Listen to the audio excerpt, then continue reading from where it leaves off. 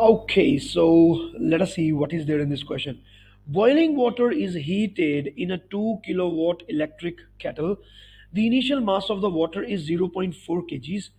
Assume the specific latent heat of vaporization of the water to be 2 megajoule per kg. What is the time taken for all of the water to vaporize? Okay, so first of all, the temperature of the water is not given, but it is given that it is boiling. So we will safely assume that the temperature is 100 degrees centigrade already.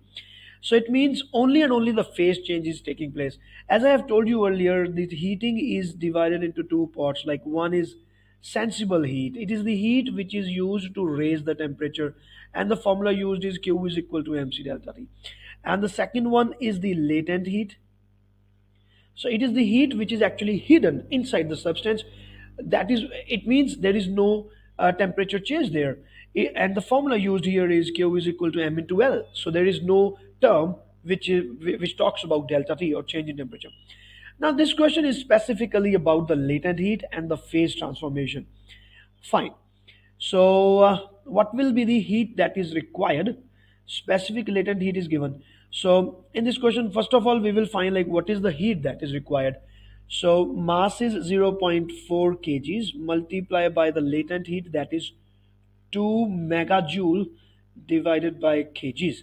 I have written the units also just to make sure that everything fall in place.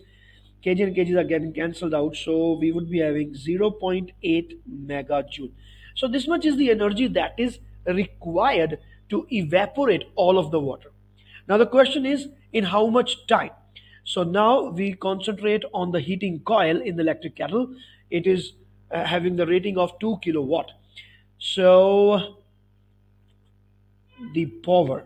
So the power can be taken as 2 kilowatt. That is 2 kilojoule per second. So we want to find the time. So definitely the time will be Q divided by P and Q is 0.8 into mega. So now I'm just converting mega into 10 raised to powers. So it is 10 to power 6 and we divide by 2 into 10 raised to power 3 that is kilo and the answer will come in seconds. So this is how we do this. Let us see. This is 3 and we remove the decimal. This becomes a 4 and this becomes 100. So it's 400 second so I think the time that will be taken to evaporate that much of the water in this kettle is 400 second.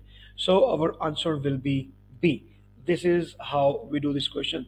So my dear students, this is Professor Varun. Please subscribe to the YouTube channel. It will be highly beneficial for your preparation and share the YouTube channel with all your friends also. All the best.